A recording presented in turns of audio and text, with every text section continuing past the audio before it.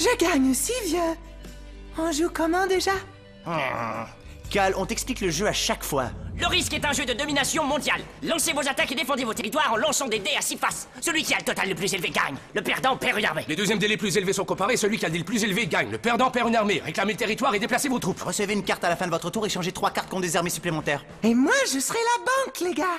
Où est-ce que je mets mes hôtels